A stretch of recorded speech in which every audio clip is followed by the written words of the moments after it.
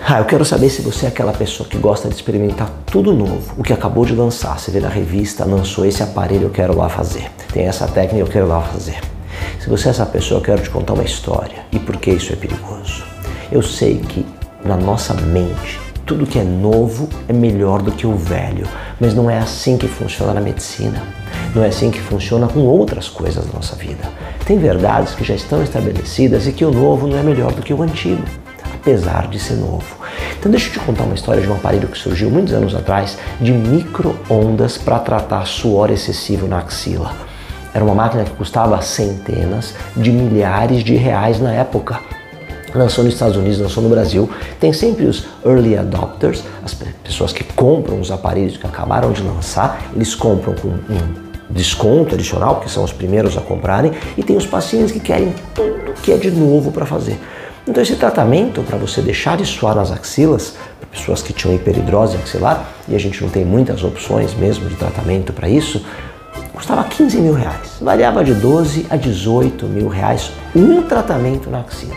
E as pessoas compraram a máquina de centenas de milhares de reais, os dermatologistas, e os pacientes que tinham dinheiro pagavam 12, 15, 20 mil reais para fazer esse tratamento. E o fato é que não funcionou. Aí o fabricante falou, é necessário fazer uma segunda aplicação. Então o médico já tinha até vergonha, cobrava menos, já não tinha quase lucro, porque cada disparo custava uma fortuna. Você além de comprar a máquina, você tinha que comprar o disparo da máquina. Então ele cobrava 10 mil reais a segunda sessão e a gente percebeu que 85% dos pacientes não tinham resposta. Cadê essa máquina hoje em dia? Ninguém mais fala dela. E quem tem, tá com um elefante no meio da sala porque não tem o que fazer. Pagou centenas de milhares de reais, o paciente gastou uma fortuna e simplesmente os resultados não são nem perto do que era o prometido pelo fabricante.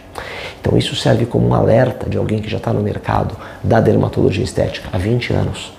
Eu estou cheio de ver modas de produtos, de preenchedores, de marcas, de técnicas que são revolucionárias e que depois de 3, 4, 5 anos ó, desapareceram.